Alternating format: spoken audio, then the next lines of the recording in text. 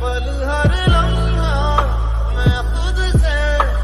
ये कहता रहता हूँ तुझे भुला